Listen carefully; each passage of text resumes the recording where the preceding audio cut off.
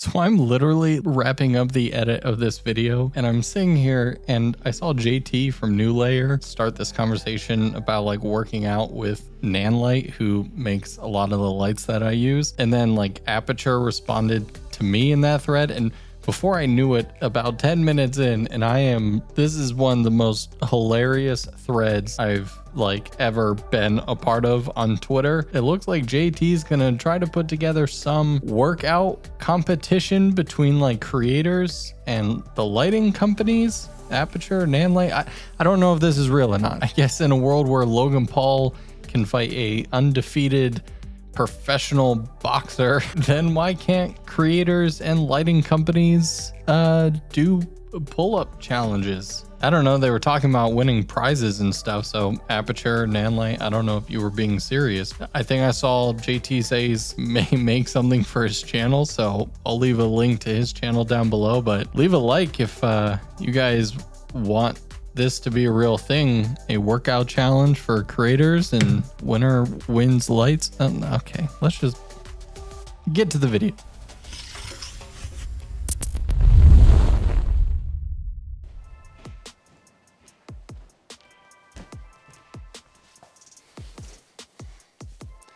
Welcome to my living room. Now when you look at this composition and this scene, there's nothing necessarily inherently wrong with it, right? When it comes to lighting, I mean, I got my key light right here, we've got some natural window light, and then we have a bunch of practicals. But with those practicals, there's a lot going wrong. First of all, in this light right here, there's actually a bulb missing because like two or three go in there. One of them is burnt out. This is a slightly different, warmer tone than this light, which is different from this light. And then in this hallway, we have a much cooler new LED bulb. Now to a DP, someone who likes to have control over the lighting, the composition, the color temperatures of everything, that is a total nightmare. And so that's why today Today I'm stoked to test out the Aputure B7C 8 light kit. Now this isn't necessarily a brand new product. It's been out for a little bit of time and Aputure sent it out to me a little over a month ago. So that way I would have a good amount of time to play with it. I actually just recently used it on a short film that we actually got honorable mention, one of 12, over 700 submissions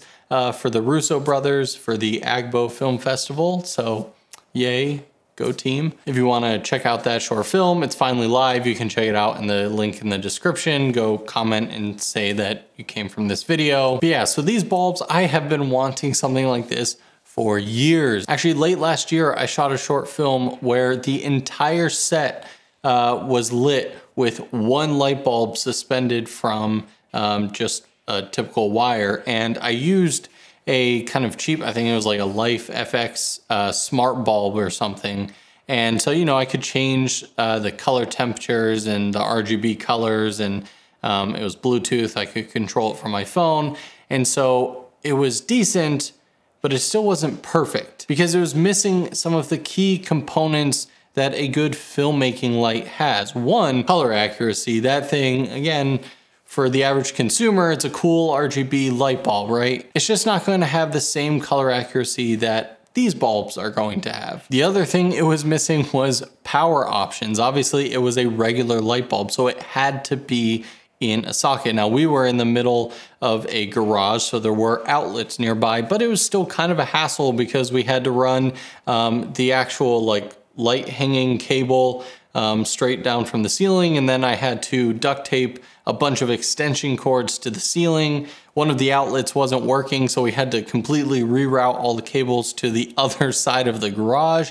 It was just a lot of wasted time. So the fact that these have both options where you can run straight into a regular light socket and power it through AC uh, through the wall like normal light bulbs would work. Or you could be out in the middle of nowhere or someplace that you don't have easy access to power and run it off of the internal battery, which at max output will give you over 70 minutes of runtime. And in my use case, that's been fairly accurate. And a lot of times I'm not even using it at full power. You know what, speaking of what they look like, let's go ahead and fix this scene. So I'm going to replace one, two, three, four, five, and six light bulbs. So that way we can get a consistent look for these practicals. Let's go ahead and replace some light bulbs. By the way, before removing either these bulbs or any bulbs, uh, know that most of the time they get very hot. So I don't have any grip gloves on me right now. Um, so I'm just gonna give them a few minutes to cool down and then I will replace these guys.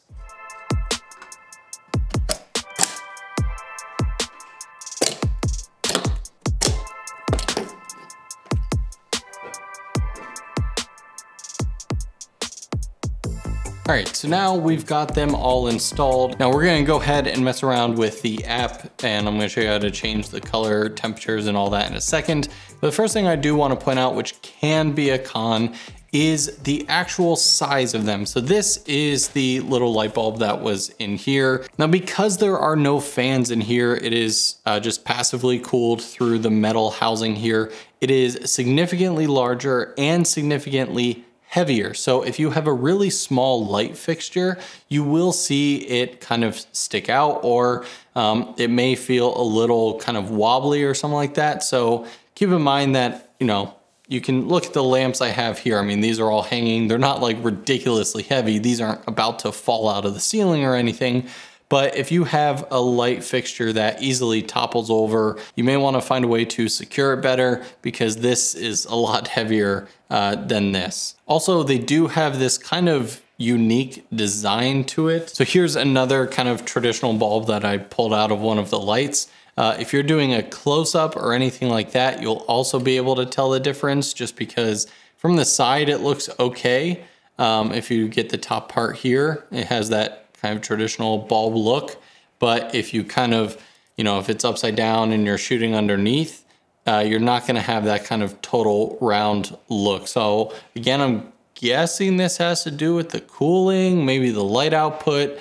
I'm not exactly sure the purpose of this design. I'd be curious, Aputure, let me know what the reason why you didn't go with just a traditional kind of fully rounded bulb look compared to uh, this look. I'd be really interested in that answer. All right, so now let's go into the Sidus Link app. I didn't end up replacing this one because it was too hard or whatever, so we'll just match it to uh, this color temperature.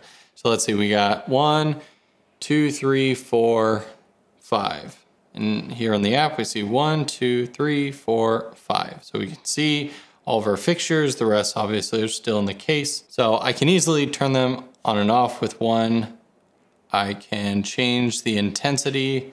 So this is 100% on all of them. Now I can also go in and individually turn them on and off. Um, so if I want this one to go off at a certain point, or I can slide and change the intensity so I can dim that one down a lot.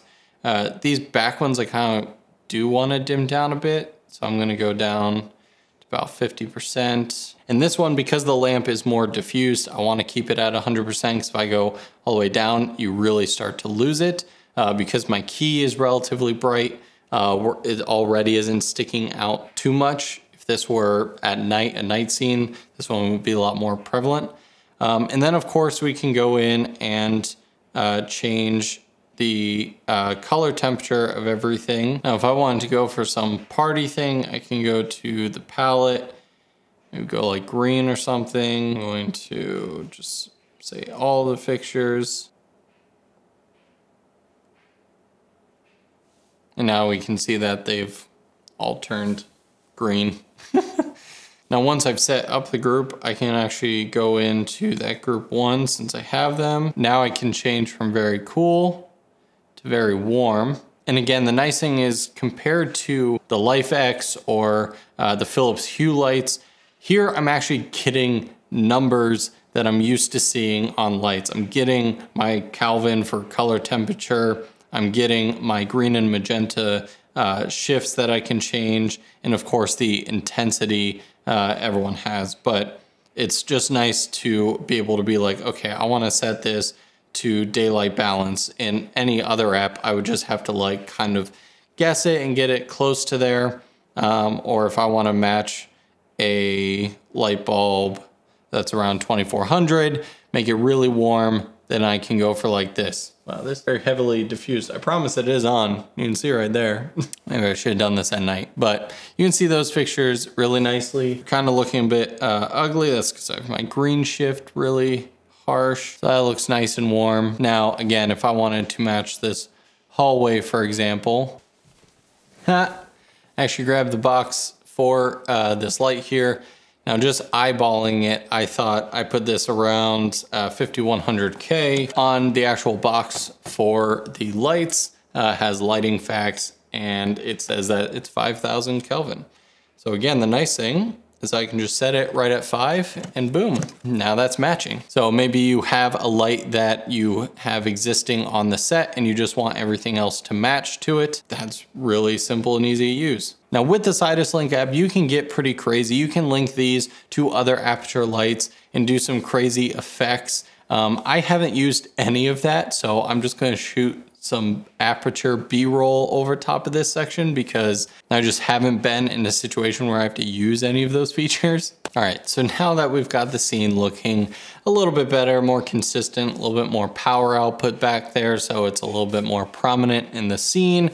We've got it matched to the other light in the hallway things are looking a little bit better there. Now let's go back to the design of each bulb real quick. One thing that I love that they did is have the instructions engraved onto the side. So these bulbs are also very different because they have controls on the bulbs themselves. So if you never use the app, um, or you just need to change one bulb uh, manually, you can just grab it at any time. And there's a power button, there's a plus and a minus, and so obviously by default, the minus and plus are to change the intensity. Uh, and the power button, if you press and hold that, that turns it on or off. But then you can also do things like change from the AC to DC power. You can change the color temperature. And if you forget how to do that, you simply just look on the side and I can see that to change uh, my CCT switch um, is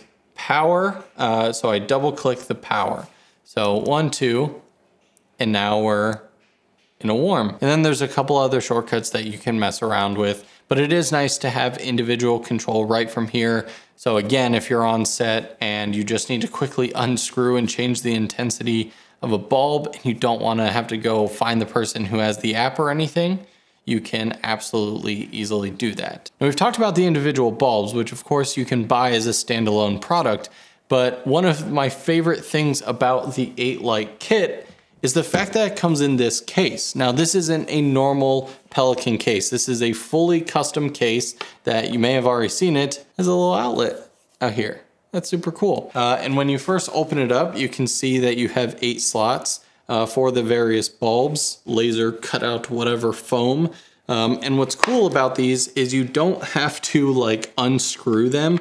They kind of created this quick release system They kind of just wiggle it and pull it out, give it a little bit of force. And then you kind of just push it back down and it sits in there super secure. It's not coming out as I dropped the power cable, however. But as you noticed off to the side here, uh, it comes with extra fuses. So for whatever reason, if you do blow a fuse, easy access right there. Then it's awesome because you literally just take this power cable out, plug this into the wall, flip the on switch, and now you're charging all of the lights at the same time. Now Aputure recommends that you, of course, charge the lights when they're off. Um, they will still charge when they're on, but of course that's not the most efficient, pretty common sense.